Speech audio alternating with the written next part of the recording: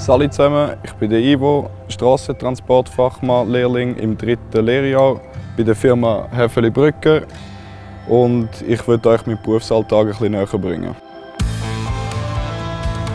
Im ersten Lehrjahr lerne ich, wie ein Fahrzeug MFK bereitgestellt wird. Ich mache Unterhaltarbeiten an Fahrzeug und Anhängen und bin in der Lage, einen kleinen Service selber zu machen.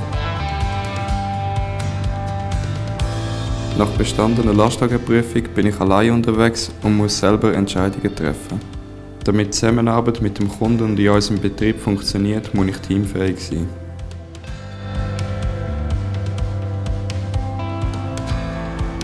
Als Strassentransportfachmann erlebt man jeden Tag etwas Neues. Trotz dem frühen Aufstehen und der langen Arbeitstag habe ich sehr viel Spaß an meinem Beruf.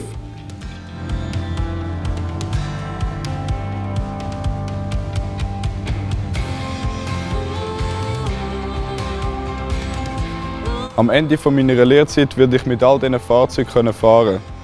Habe ich dich neugierig gemacht, dann bewirb dich heute noch bei der Häfeli Brücker AG.